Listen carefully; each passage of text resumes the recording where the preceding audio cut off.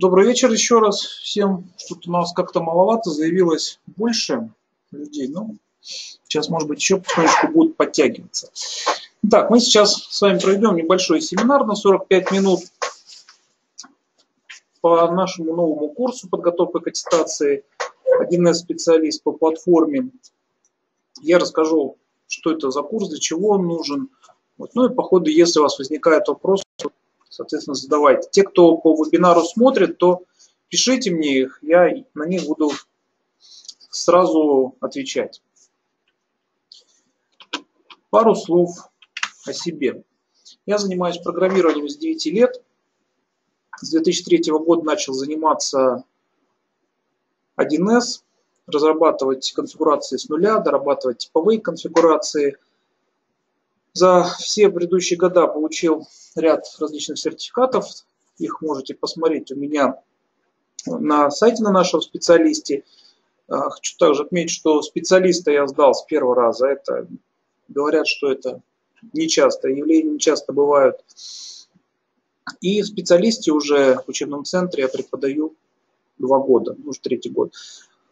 Это у меня, скажем так, не основное место работы, то есть я все же практик, то есть я занимаюсь реальной разработкой внедрением проектов. Ну и просто поскольку есть время, возможность, начал еще заниматься и преподаванием. Итак, ну давайте начнем. Аттестация 1С специалист. Заветный сертификат. Чтобы получить этот сертификат, нужно сначала получить проф, профессионал, один из профессионалов по платформе. После этого вы можете уже идти сдавать на сертификат один из специалистов. Буквально немножечко про профессионала. Профессионал, все экзамены по профессионалу, они сдаются, экзамен проходит в виде тестов. 14 вопросов нужно сделать максимум две ошибки можно сделать. То есть на 12 вопросов вы должны ответить правильно. Обычно эти вопросы заучиваются наизусть, приходите, как в ГАИ, отвечаете. 2-3 минуты. Специалист, он кардинально отличается, экзамен. Специалист по платформе считается один из самых сложных экзаменов в 1С. А, вот специалист по платформе и специалист по ERP. Вот это вот два самых сложных экзамена. Экзамен по специалисту проходит 5 часов. Вам дают задание, где-то там, ну, наверное, 4, а то и 5 страниц А4. Вы читаете, начинаете решать, пишите все это, и после 5 часов у вас защита. То есть вы свой проект защищаете. Начинать можно сдачу только в том случае, если вы решили все задачи. Если вы одну задачу хотя бы не решили, то с вами разговаривать даже не будут.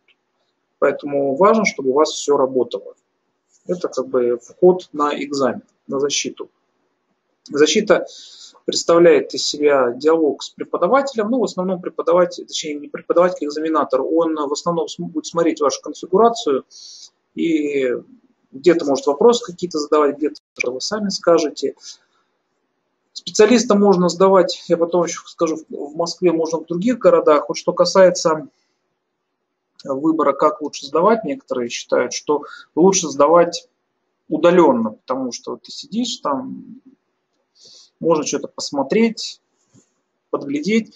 Вот. Но на самом деле я вам скажу так, что комфортнее сдавать в Москве, потому что если вы сдаете удаленно, то у вас не будет возможности общения уже с экзаменатором. Просто вашу конфигурацию проверят и на этом все.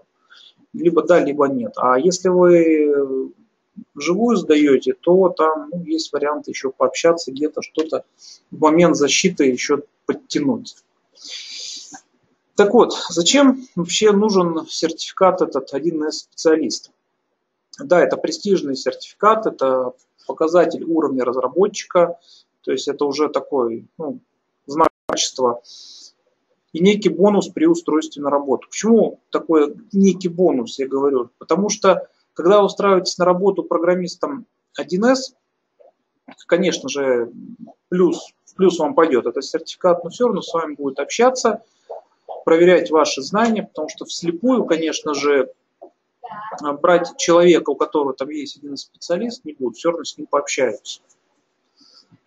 Если вам не принципиально получать вот этот вот сертификат, там, для работы у вас так все хорошо, то второе, вторая причина, почему хорошо бы получить этот сертификат, это упорядочение ваших знаний и навыков. Я знаю очень много людей, которые давно занимаются разработкой на 1С, но у них в голове такой бардак, и когда их видишь код, как они пишут, ну, волосы просто встают дыбом. Здесь же, когда вы начинаете готовиться к аттестации, то в голове у вас все упорядочивается, у вас все раскладывается по полочкам, вы учитесь писать все блоками, ну, то есть у вас наводится порядок в голове. Естественно, какие-то обязательно пробелы восполнить, потому что ну, всего знать невозможно, а на аттестации 1 специалист нужно знать ну, практически все. Потому что ну, основные механизмы по оперативным задачам, бухгалтерским, расчетным, вот это все, все, все, конечно, нужно знать досконально. Ну, плюс еще некоторые там, механизмы нужно знать. Далее, в процессе подготовки вы доведете до автоматизма типовые алгоритмы проведения документов. На оперативных задачах, на курсе оперативных задач уделяется очень много внимания проведению документам, блокировкам, но там все больше проходится в теории, вы пробуете, смотрите, как это работает, но именно набить руку вам нужно для этого порешать задачи. Ставится задача, вы начинаете ее разбирать, решать, смотреть уже, как получается, ну и так далее. И преимущество курса то, что вы под наблюдением преподавателя все это делаете, вас направляют, вас корректируют. То есть это будет не просто так вслепую. В интернете очень много есть уже решенных задач.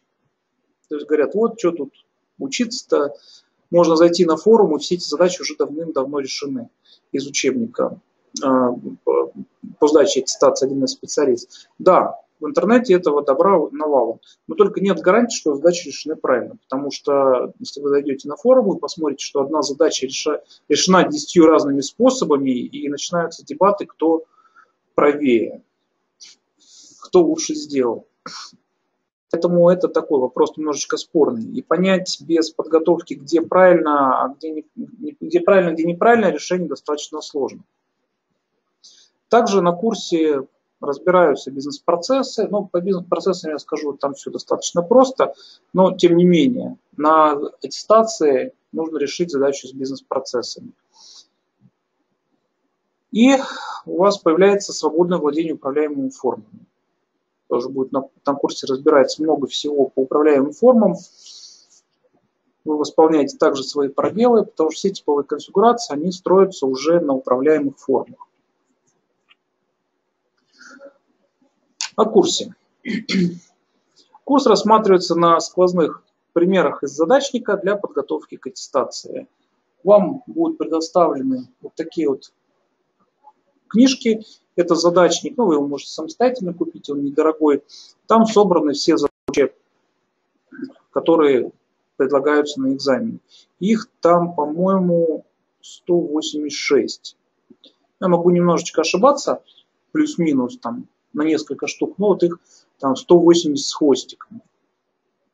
Если вы самостоятельно садитесь готовиться к экзамену, то по-хорошему вам надо решать все вот эти задачи. Поначалу, когда люди уже понимают, что да, они готовы начинать готовиться к экзамену, то поначалу на задачу где-то уходит часа три. Это я вот по себе говорю. Потом, естественно, время начинает сокращаться. На курсе мы не будем прям все-все-все задачи решать, потому что ну, столько времени нету. Но дело в том, что задачи на самом деле, они идут по темам. И в рамках одной темы задачи они ну, очень похожи, там чуть-чуть отличаются, и все. И здесь важно вас сразу направить в нужное русло, чтобы вы задачи начали решать правильно. Не уходили в сторону, лишнего ничего не делали. Все это делается на примерах. Мы берем задачу, разбираем ее, решаем. Потом вы, вам дается задание, вы сами решаете задачу, потом мы уже вместе разбираем. То есть, ну, условно говоря, одну задачу вместе, одну задачу сами, одну задачу вместе, одну сами делаете. На курсе также учат правильно читать задания и выявлять ключевые моменты. Тоже очень важный момент, чтобы правильно, корректно выделить основные моменты из заданий. Потому что, когда вы начинаете читать задачу, написано очень много всего. Задачи там, ну, в общем-то, без подвохов, потому что бывает иногда там любят на некоторых экзаменах делать задачи с подвохами, вводить какие-то дополнительные условия, которые никому не нужны, которые просто путают. Вот. Но, тем не менее, нужно взять задачу, прочитать и выделить основные моменты, от которых нужно отталкиваться. То есть взять какие-то опорные точки, на базе которых вы будете уже строить свое решение. Ну и разбираются основные ошибки, которые допускают кандидаты на экзамене. То есть просто мы будем разбирать перечень ошибок, как их избежать, куда лучше не вляпываться. Цель курса. Подготовить программистов к сдаче аттестации 1С специалист по платформе, разобрать особенности экзаменационных задач и дать понимание того, как принимается задание на аттестации. Тоже важный момент, как вас будут оценивать. Когда экзаменатор смотрит ваше решение, он э, руководствуется определенными критериями, чтобы вам выставить оценку. Но если в двух словах, то оценивается ваша работа следующим образом. По умолчанию вам ставится пятерка, а потом когда экзаменатор находит ошибки, он просто начинает минусовать. 2 десятые, 3 десятые, балл, полбалла, ну, в зависимости от ошибки. И если вы скатываетесь ниже там, 2,4 э, критерий, то это не зачет. Вот там, ну, если выше, то, соответственно, прошли. Оценка нигде не фиксируется, сертификаты все одинаковые, но просто есть некий такой барьер, ниже которого нельзя опускаться. Экзамен сдать можно либо в Москве в учебном центре номер один, который находится на Дмитровке. Информацию по сдаче экзамена в других городах можно получить на сайте 1С. Но, как я сказал, лучше, конечно же, сдавать в Москве. Но если такой возможности совсем нету, ну тогда уже да, там, ищите информацию в своих городах, где можно сдать экзамен.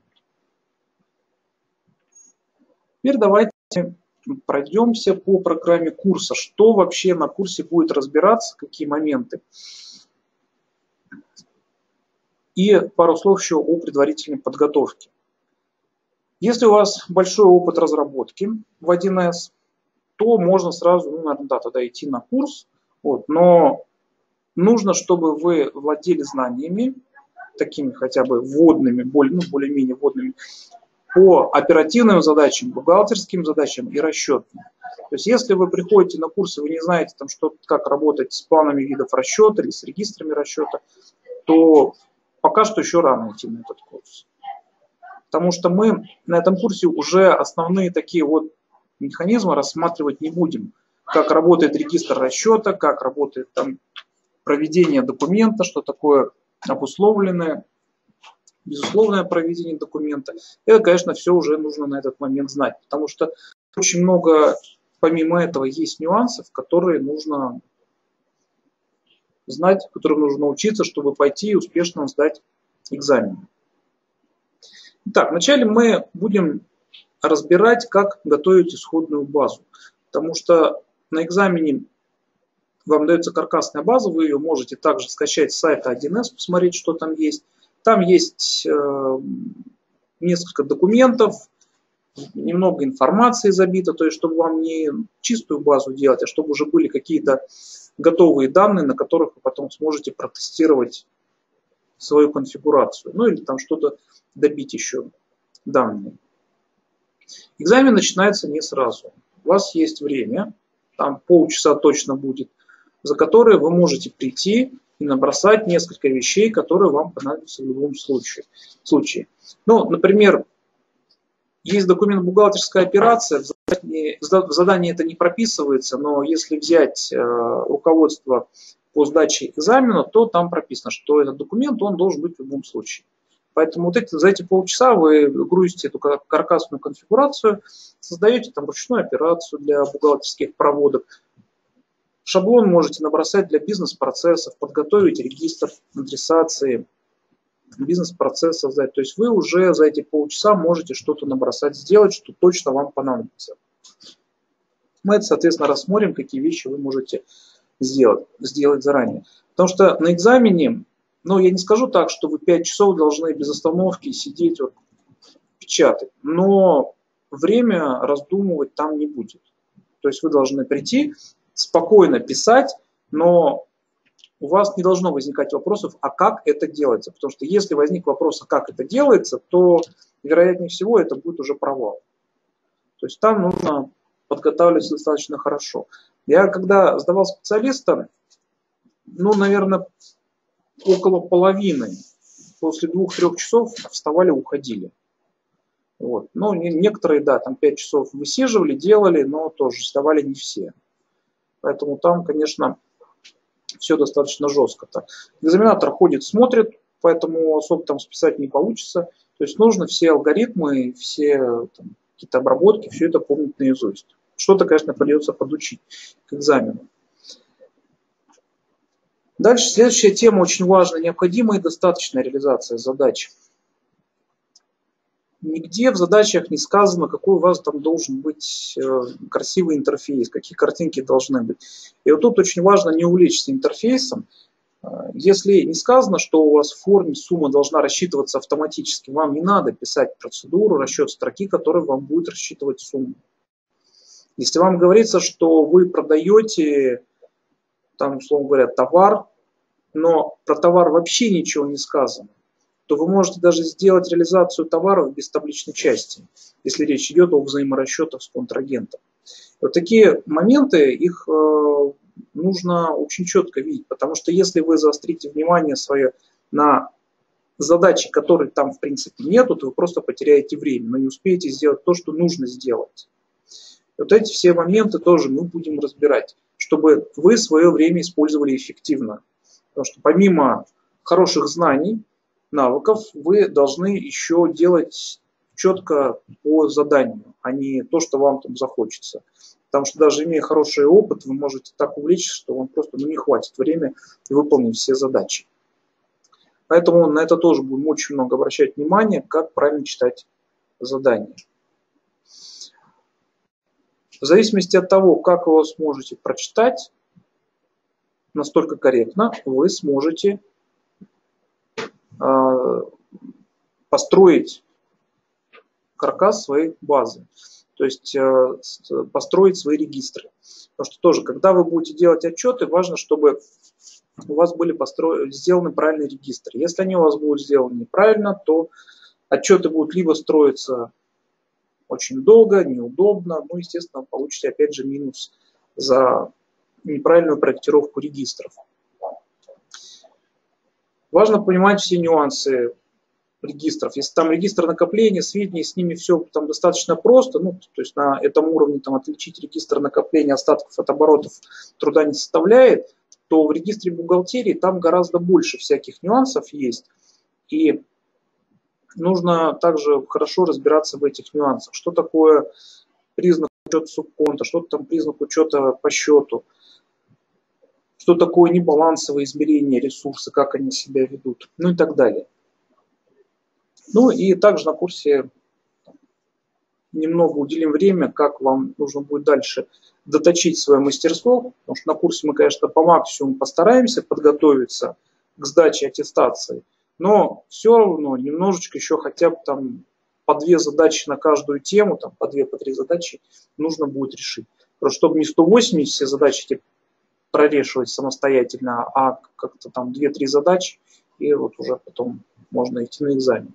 Я когда готовился, я из каждой темы перед экзаменом, точнее из каждого направления, прорешал по 5 задач. 5 из оперативных задач, 5 из бухгалтерских, 5 из расчетных.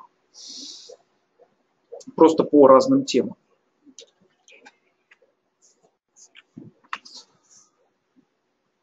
Второй модуль. Подзадачи и оперативные задачи. Как я сказал, любое направление учета, оно делится на темы, ну или на подзадачи. В оперативных задачах у нас есть подзадача коэффициентов, контроля остатков, расчет себестоимости, характеристики товаров. отчет, она есть э, везде. То есть отчет построить это, ну, отчет у вас вообще должен прям от зубов отскакивать. То есть СКД вы достаточно хорошо уже тоже должны знать, потому что отчет это самое простое. Если регистры правильно спроектированы, то отчет у вас получится на ура. Также разбирается оперативное и неоперативное проведение. Еще раз мы проходим этот момент, потому что это прям вот, ну, это вообще тоже должно от зубов отскакивать.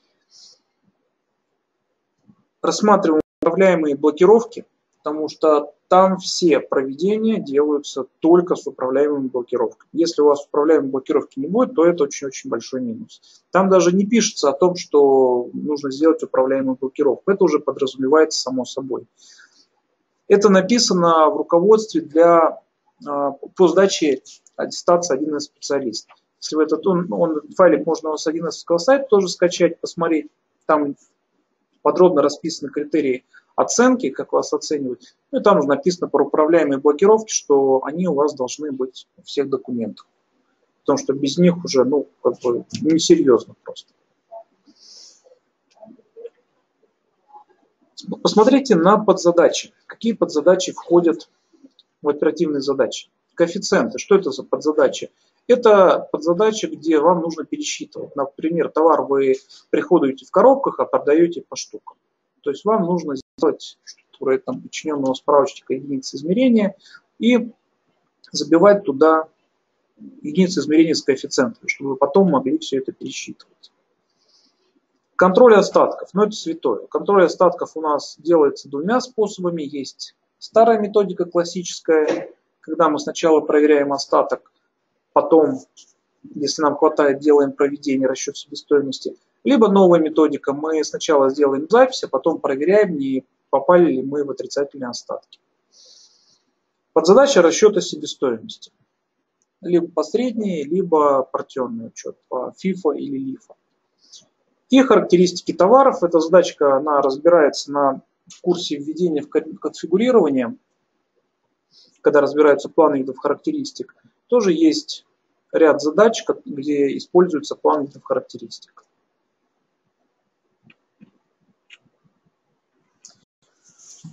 После этого мы делаем практикумы, ну, у нас их называют учебный проект. То есть мы делаем несколько задач, разбираем, делаем вместе, делаете вы, и потом все это уже мы рассматриваем, разбираем. Если посмотреть в общем, то есть такими крупными мазками, то в принципе все задачи, они одинаковые. Просто используется разный учет. Учет партии, партионный учет, вы считаете номенклатуру там в разрезе партии и себестоимость считаете. Резервирование. Вы делаете резервы, опять же, в разрезе чего? Ну, там, в разрезе счета, например, вероятнее всего. Стеллажи, комплектация. Стеллажи, когда у вас, например, идет адресное хранение – по ячейкам, не просто по складу, а по ячейкам. Соответственно, у вас в складском учете добавляется помимо склада еще одно измерение. Комплектация, когда у вас там, ну это не производство, это производство слишком громко сказано, когда вы собираете товар, сборку какую-то делаете, у вас списывается много комплектующих, появляется одна новая деталь какая-то, ну или какое-то новое изделие бюджетирование и взаиморасчеты с контрагентами. Опять же, все то же самое. Когда вы делаете взаиморасчеты, там есть таки, э, ряд таких задач, э, где нужно, они называются качели. Когда вам, например, контрагент оплатил деньги, вы его на аванс повесили, потом вы ему отгрузили. Либо меньше, либо больше. Если меньше отгрузили, то вы, соответственно, часть из аванса забираете, а остальную часть уже в разрезе договора списываете. Ну и он, соответственно, вам потом там, доплачивает или вы доотгружаете. То есть если он вам оплачивает больше, у вас висит аванс. Эти деньги не висят на конкретном договоре. А когда вы начинаете отгружать, то вы, соответственно, начинаете забирать, списывать из аванса. А если вы отгрузили больше, чем он вам оплатил, то у контрагента появляется задолженность. И потом, когда он, соответственно, начинает оплачивать деньги, заходят они, соответственно, падают уже закрывают, ну, закрывают конкретные договора. Все это называется качели. Опять же, то же самое, те же партии, только уже в разрезе контрагентов и договоров получаются. Ну, естественно, все это с управляемыми блокировками делается.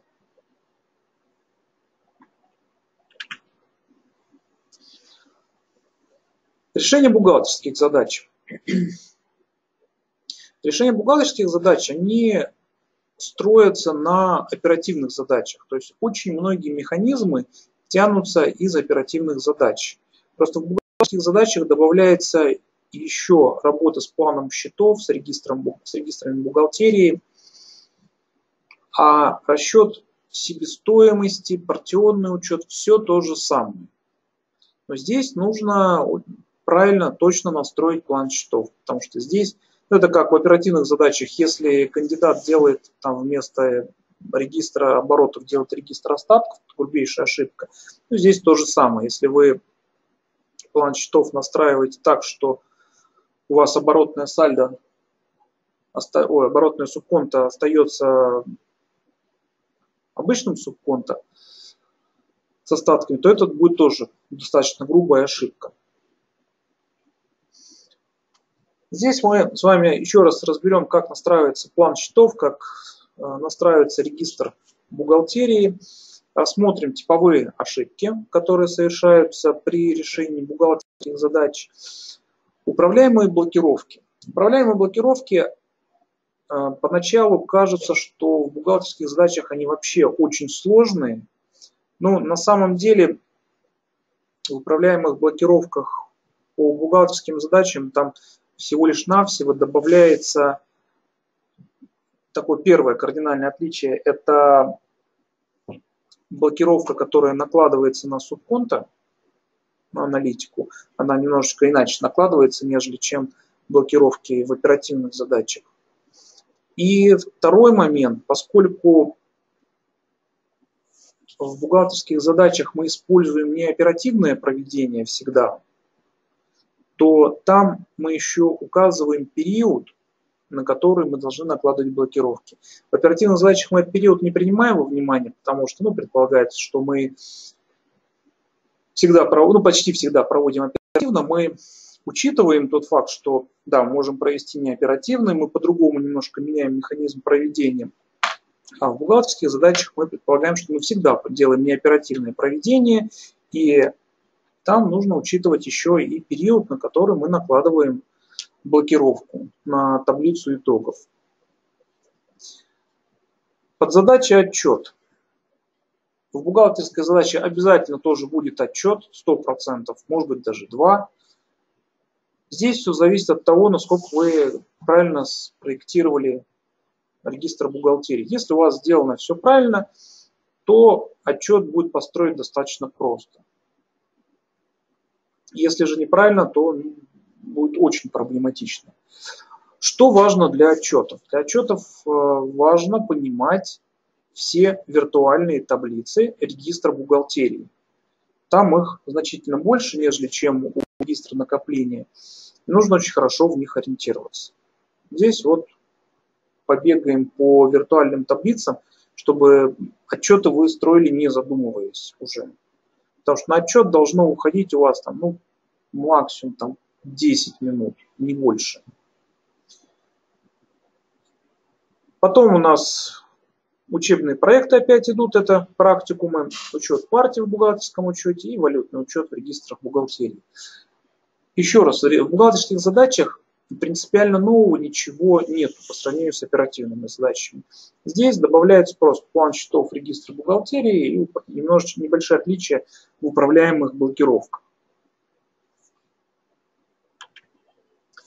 Решение расчетных задач.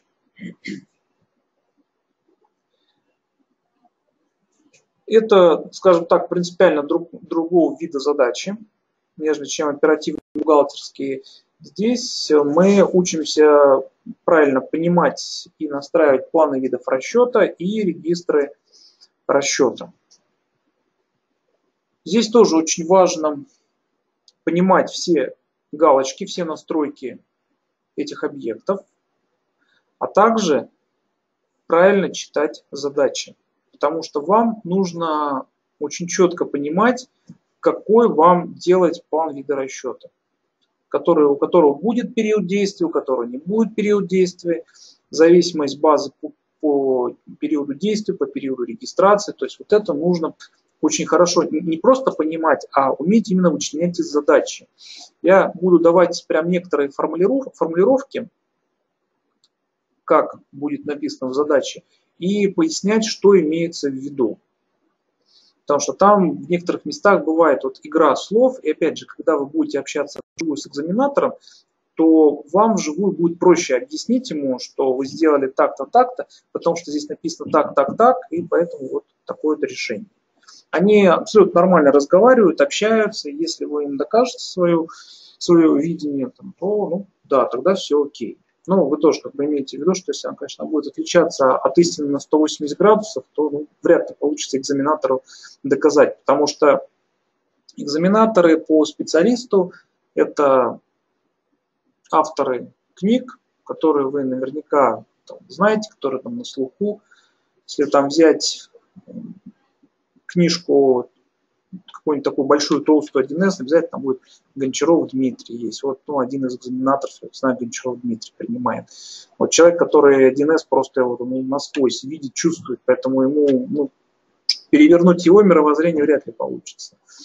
Вот. Но, тем не менее, все они адекватно общаются, и поэтому если даже вы что-то там совсем, ну, что-то неправильно сделаете, но объясните как-то, то где-то может чуть-чуть что-то изгладит, сгладит, если увидит, что у вас есть понимание. В, реши... в расчетных задачах есть определенный алгоритм решения, ну, правильно сказать, определенный даже алгоритм проведения документов. То есть он такой универсальный, его можно сокращать, но он абсолютно, он накладывается абсолютно на все задачи.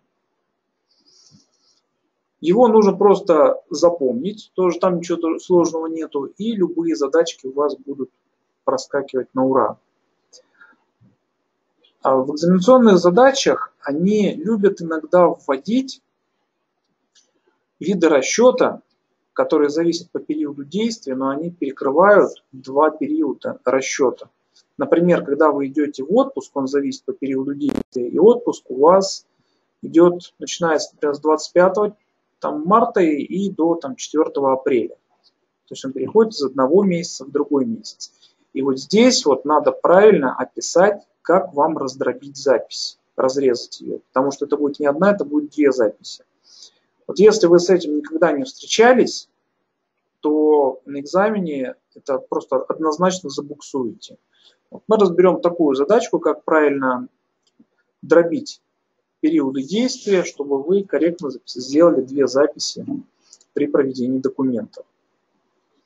Ну и несколько будет учебных проектов, начисление оклада и премий, классическая задача, корректировка начислений сторнирующие записи и перерасчеты. Все это может попасться, но в основном, говорю, в основном там задачи по расчетам это вот начисление оклада премии, все вот в этом ключе, корректировка начислений сторона и перерасчеты встречаются значительно реже. Но, тем не менее, все это тоже нужно знать.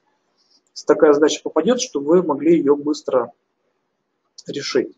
Мы с вами все это тоже на курсе разберем, чтобы нового для вас ничего не было. Механизмы бизнес-процессов. Задачи по бизнес-процессам, они на экзамене очень простые. Там в учебнике всего 10 задач по бизнес-процессам. И там они написаны так, там пишется условия задачи, а дальше просто идет 10 маршрутных карт. Поэтому задание везде одинаковое, реализовать э, бизнес-процесс такой-то, чтобы можно по нему ходить, чтобы был список задач, где вы могли бы отмечать по исполнителям, и сделать форму, где можно будет посмотреть бизнес-процессы, чтобы он у вас перескакивал, когда вы отмечаете задачи, чтобы у вас интерактивно обновлялся. Там все просто. Здесь в бизнес-процессах нужно хорошо понимать принципы адресации, как через регистр сведений делается эта вся адресация, и, соответственно, все это связать воедино. Мы с вами несколько задачек там сделаем бизнес-процесс, бизнес-процессом, но здесь больше задачи будут на то, чтобы ну, вы сами просто попрактиковались, потому что задачи все одинаковые, поэтому мы с вами разберем одну задачу, а дальше вы уже просто будете сами по аналогии делать. Они делаются, в общем-то, все под копирку, то есть там код одинаковый будет везде, который нужно будет написать. Просто нужно правильно сделать адресацию. Дается еще таблица с адресацией, какой сотрудник, к, какому подразделению относится, какая у него должность, и вот это нужно будет все вбить. Там будет большая таблица с адресацией, но она специально сделана большая, вот там целиком ее заносить не нужно. Вам нужно будет выбрать только те строчки, которые будут относиться к вашему бизнес-процессу. Вы их забиваете, все это настраиваете и запускаете, показываете бизнес-процесс, как он работает. И последняя, пятая задача, которая дается на аттестации, это работа с управляемыми формами. У нас первая задача – это оперативная задача, вторая – это бухгалтерская, третья – расчетная задача, четвертая – это бизнес-процесс и пятая – управляемые формы. Есть, правда, билеты, в которых нету бизнес-процессов. Попадают такие билеты. В таких билетах, как правило, три задачи по управляемым формам. Вместо там, одной, например.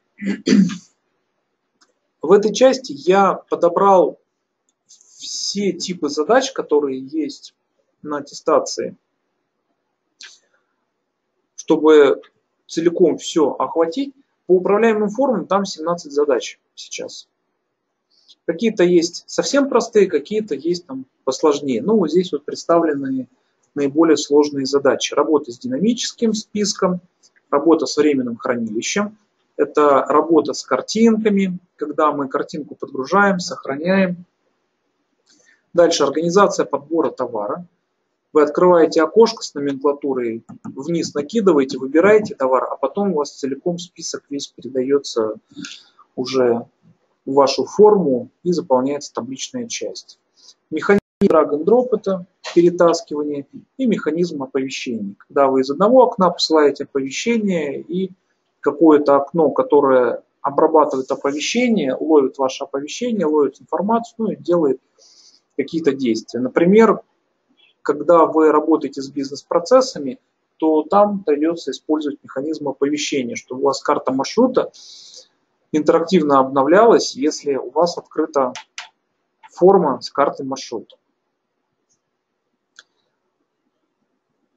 Теперь немножечко о регламенте сдачи экзамена, чтобы у вас было представление о том, как вообще он проходит, сколько времени на что, выделяя, э, на что нужно потратить.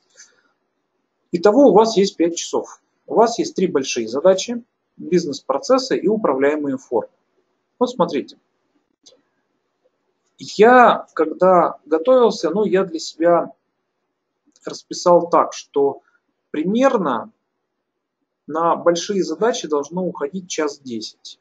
На оперативный, на бухгалтерский, на расчетный. Они по трудозатратам примерно одинаковые. То есть вы, когда делаете, решаете задачи, вы смотрите на время и ориентируетесь, вы проходите по времени или же нет.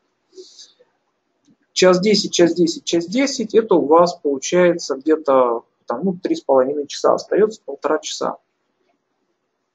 Полчаса у вас где-то уйдет на задачу с бизнес-процессами. Это 4 часа. И еще полчаса это вот на управляемые формы. Ну и полчасика где-то вот запас. Люфт, где вот вы можете чуть-чуть вот где-то притормозить. То есть примерно вот расклад такой. Для чего я говорю время, это если, когда вы будете уже готовиться, сами решать, засекать, за сколько вы делаете задачи, то вы должны ориентироваться примерно вот на такое время.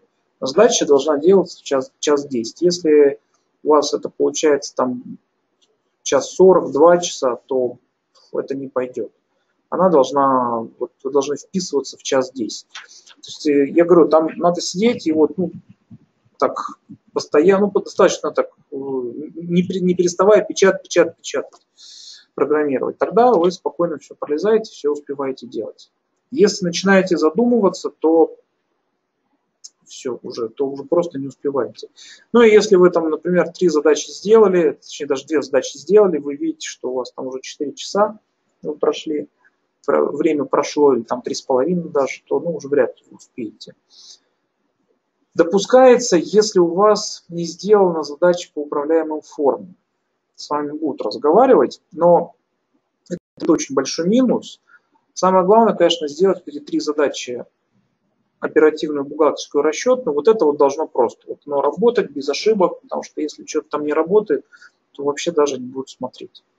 Вот. Ну и обязательно нужно вбить тестовые данные, документы, на которых вы сможете все продемонстрировать, показать, как, ваша, э, как ваш проект работает, все отчеты продемонстрировать. Не так просто, что вот, да, сделал вот печатная форма, открываете, она там с ошибкой вываливается.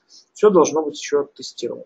Поэтому где-то там, ну, хотя бы минут там, 15 нужно еще оставить на погонять свою конфигурацию, чтобы убедиться, что у вас все работает.